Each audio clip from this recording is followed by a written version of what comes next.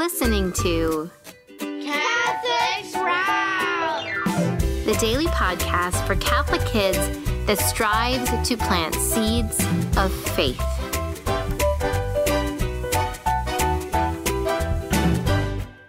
Hey there, Sprouts. Today is Thursday, March 14th, 2024. We are in the season of Lent, talking about the heroic witness of martyrs.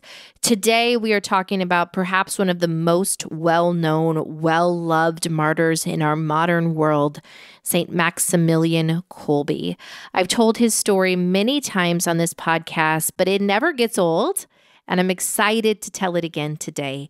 Before we do that, please join me in praying our Lenten prayer, St. Peter's Chains. In the name of the Father, and the Son, and the Holy Spirit, amen. O God, who caused St. Peter the Apostle to depart, loosed from his chains and unhurt, loose, we beg you, the chains of our sins and graciously keep all evils far from us. Bless us this Lent and give us the faith of the martyrs. We ask this in the mighty name of Jesus Christ. Amen. In the name of the Father, and the Son, and the Holy Spirit. Amen. St. Maximilian Kolbe. So, St. Maximilian Kolbe was Polish, he was Franciscan, and he loved Mary. He was so dedicated to Mary. His relationship with Mary shaped his life. So, St. Maximilian Kolbe answered a call to be a Franciscan friar. He was ordained a priest. As this, he served anyone in need, but he also spent a considerable amount of time promoting relationship with Mary because he knew, like many other saints, that the shortest and surest path to heaven was to Jesus through Mary. In fact, he often talked about the militia of the Immaculata, to be in the army of Mary, to have her as our guide and to be fighting for all the things that she fought for. So she he promoted relationship with Mary through a newspaper and then, as technology increased through a radio station, he was a great leader and maker of things happening, oftentimes through divine providence. There are really remarkable stories of him having no money, no means, and God just miraculously supplying exactly what he needed, whether it was paper for his newspaper or a huge chunk of land to build a new monastery.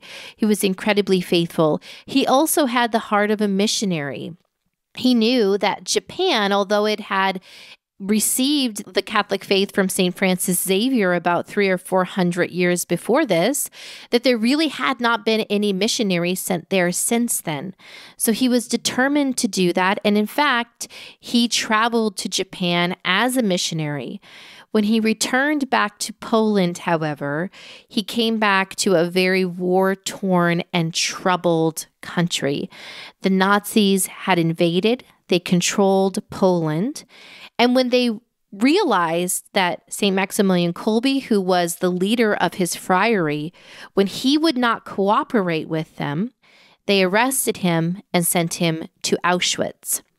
Now, Auschwitz is a notorious death camp where Jews, but also Poles and many Catholics were sent to work and oftentimes to die.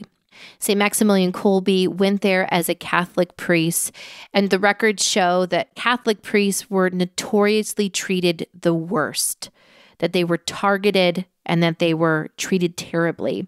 And yet, people that were there with St. Maximilian Kolbe remember that he was always cheerful.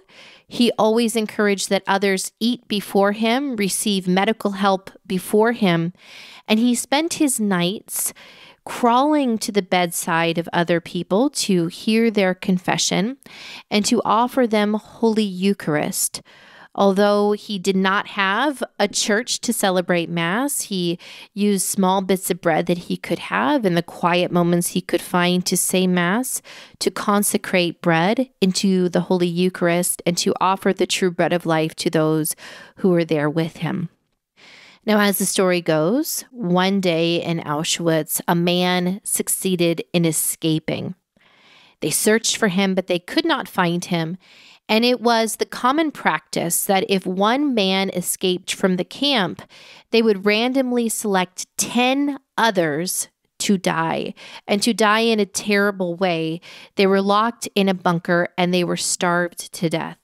And so, as everyone stood in this big open space in Auschwitz, the Nazi officer went through randomly selecting 10 people to die. And he selected a Polish man.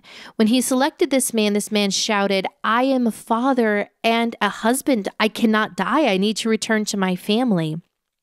Moved with compassion for this man, whom St. Maximilian Kolbe did not know, he had never met him.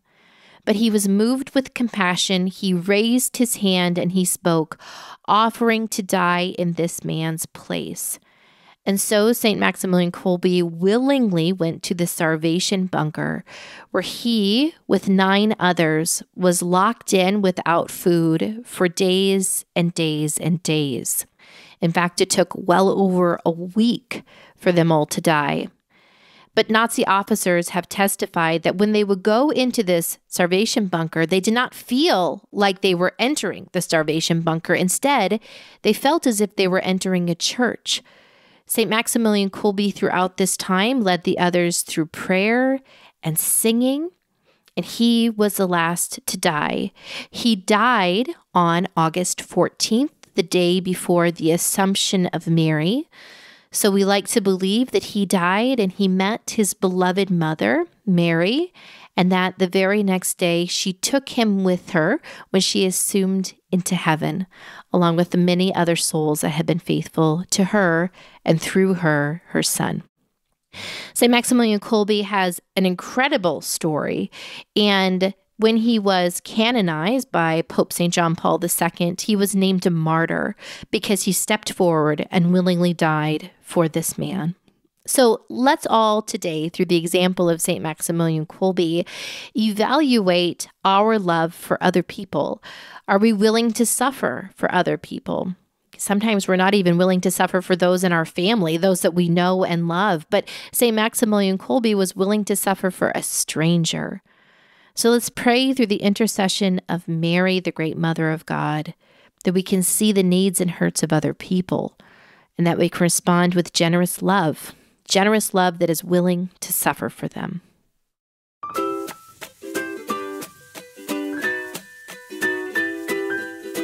That's it for Catholic Sprouts today.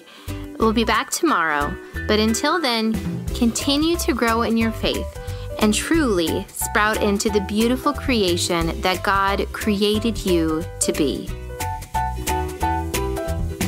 Calling all Clubhouse members, get ready for our virtues chat with Sir Roland himself, the Dragon Slayer, this Thursday afternoon. We are going to be discussing the virtue of justice and you aren't going to want to miss it. So, Clubhouse members, make sure you join, log into the community, find the link. If you would like to join us, if you are not currently a member of the Clubhouse, then this is your special invitation to do that and seize on your opportunity to meet the Dragon Slayer in person. Just check the notes for this podcast episode to find the direct link to sign up to join and to be there on Thursday with Sir Roland.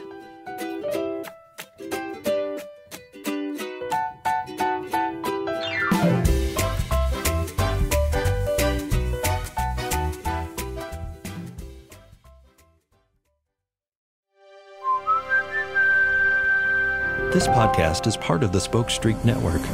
For more great podcasts, visit spokestreet.com.